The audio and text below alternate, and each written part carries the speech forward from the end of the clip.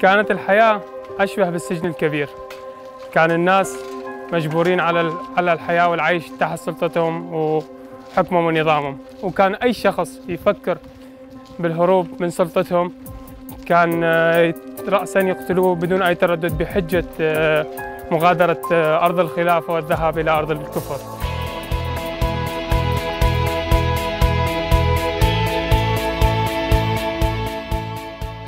تعالوا معايا هسه أشوفكم صرح علمي وثقافي كبير يفتخر به جميع مدينة أهل الموصل.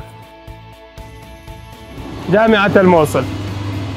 هذا الصرح العلمي والثقافي الذي يفتخر به جميع سكان مدينة الموصل حيث أسهمت في إعادة الحياة إلى المدينة بشكل كبير وواسع آه، حيث قام الطلاب وأساتذة ومتطوعون بإعادة تأهيل وتنظيف المكتبة المركزية وانتشال الكتب الغير متضررة وأيضا آه، إعادة بعض الأقسام وتنظيفها وتأهيلها حيث كان لكل تخصص بصمة إن كان طبيبا أو مهندسا أو عاملا أو أستاذا أو طالبا أو حتى رساما أو نحاتا كل كان له بصمة جميلة في هذه المدينة.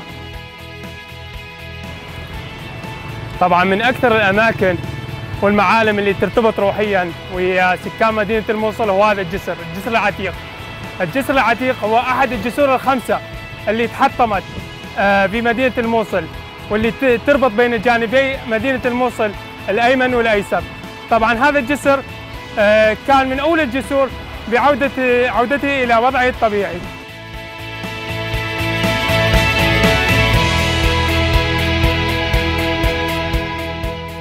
آه، المدينة بشكل عام تأذى صار بها دمار وشون قالوا مستحيل ترجع لكن بفضل الفرق التطوعية والجهود الذاتية والمنظمات آه، المحلية والدولية.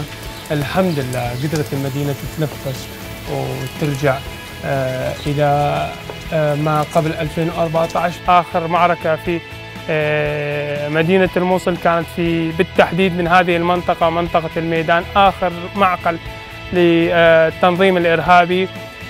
من هنا أعلن رئيس الوزراء عن تحرير مدينة الموصل بالكامل من هذه المنطقة بالتحديد.